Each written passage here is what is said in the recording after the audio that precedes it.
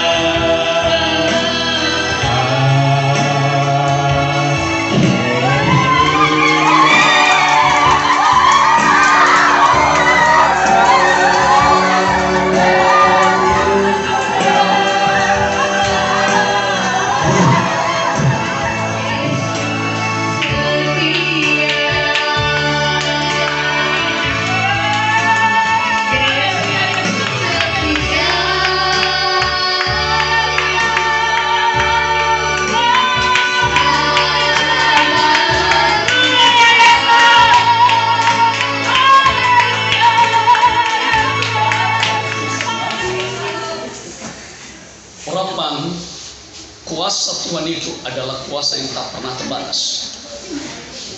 Jangan kamu heran. Sebab kuasa Tuhan itu dahulu, sekarang, hingga sampai selama-lamanya tetap ada dan tetap bekerja. Amin. Urapan-urapan yang telah masuk dalam hidup mereka adalah urapan yang membawa perubahan hidup untuk lebih, untuk menjadi lebih baik. Ketika urapan itu turun, apa pun bisa terjadi. Artinya, kesembuhan mengalir, pelepasan kuasa kegelapan keluar. Itulah kuasa. Dan kuasa itu diberikan kepada mereka yang dipilih oleh Tuhan, yang dikhususkan oleh Tuhan.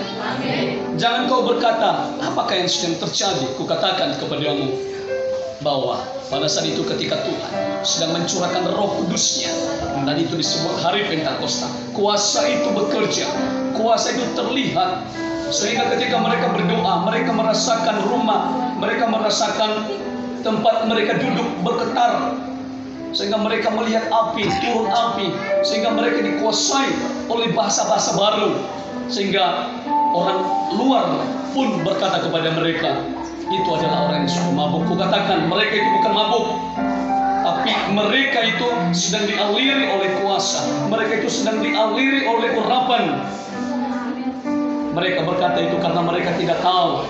Mereka berkata itu karena mereka tidak mempunyai mata. Sekalipun mereka melihat tapi hati mereka masih belum melihat. Berbahagialah kamu. Sebab urapan itu telah ada di tengah-tengahmu. Untuk membebaskan, menyembuhkan. Saya melakukannya bukan karena saya mempunyai satu tujuan tapi tujuan Tuhan di dalam hidup saya untuk supaya umat-umatnya kembali kepadanya urapan yang telah mengalir kepada mereka adalah urapan khusus yang menyembuhkan. Mereka telah melihat orang lumpuh berjalan. Mereka telah melihat yang sudah diikat oleh kegelapan itu dibebaskan. Itulah kuasa Tuhan. Tanda-tanda ini menyertai orang percaya. Markus 16 17 mereka akan meletakkan tangannya atas orang sakit, orang sakit sembuh. Amin. Mereka akan mengusir setan. Itulah mereka yang telah dikhususkan di tengah-tengah kita, Tuhan telah memakai seseorang, mereka yang ada sebelah kanan saya, sebelah kiri saya, semua yang ada di sini dipakai oleh Tuhan. Dan bukan hanya mereka, melainkan kamu juga dipakai oleh Tuhan. Persiapkanlah diri kalian masing-masing. Sebab melihat kedatangan Tuhan itu tidak lama lagi. Tuhan itu akan selalu datang. Tuhan itu akan selalu memberikan kepada kalian kekuatan kesehatan pada saat kalian membutuhkan. Jangan kalian berkata, ada apakah dengan jubahnya ini? Petrus maupun Paulus telah memanifestasikan kuasa di dalam kisah para rasul. Bahkan bayangan-bayangan pun menyembuhkan, bayangan-bayangan pun menghidupkan. Sapu tangan diurapi, disimpan kuasa, dan sapu tangan itu menyembuhkan ketika diletakkan atas orang sakit maka terjadi kesembuhan. Itu kuasa.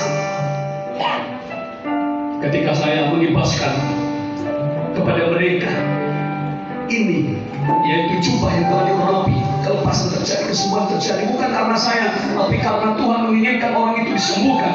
Amin. Saya akan lakukan sesuatu kemarin.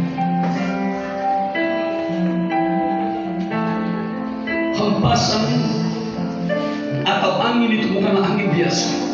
Itu bukan angin, tapi melainkan kuasa. Itu bukan angin, tapi melainkan urapan. Ketika lewat di depannya, maka tak ada satupun yang bisa berdiri di hadapan Tuhan. Tak ada satupun yang bisa bertahan di hadapan Tuhan. Itulah kuasa. Lihatlah kuasa Tuhan bekerja. Itu kuasa. Getaran, getaran itu adalah bisa. Kalian mengetahuinya di kisah para rasul pasal 2 ayat 1 sampai terakhir. Itu adalah Pentakosta. Sehingga mereka diklaim oleh orang banyak bahwa itu adalah yang sudah mabuk, yang sudah mabuk anggur. Begitu kuasa Allah bekerja. Begitu juga bayang-bayangan. Satu dua tiga sini kemarin satu dua tiga pak. Sudah kamu kamu kamu. Ya. Nih bayangan-bayangan itu di belakang mereka, belakang mereka. Ya, biarkan dilihat oleh mereka semua yang sedang supaya mereka tidak bertanya-tanya tentang kuasa. Di sini ada bayangan dan saya akan melewati mereka ketika bayangan ini menyentuh maka kuasa Allah bekerja dalam hidup mereka. Karena sudah melihat bayangan ini di sini ada dia dan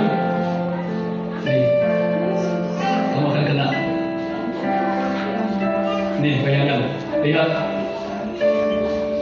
bayangan yang telah ada ini bukanlah bayangan manusia. Bukanlah bayangan saya. Tapi kuasa Tuhan yang sedang bekerja. Dia akan lewat di depan mereka.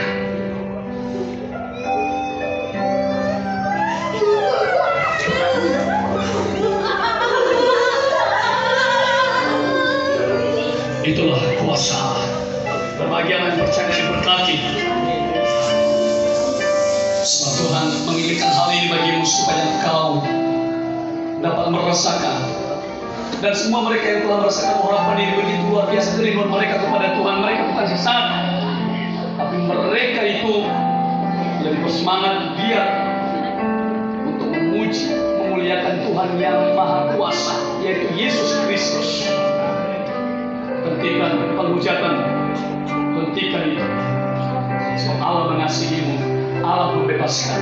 Demikian salam dari kami. Ini para pelayan-pelayan tangan kiri ini ya. Dan para pelayan-pelayan saya semua mereka semua akan selalu siap melayani. Kami melayani bukan karena sesuatu tapi kami melayani karena kami ingin memberikan apa yang kami miliki kami berikan kepada mereka. Itu adalah pelayanan Tuhan Yesus memberkati. Shalom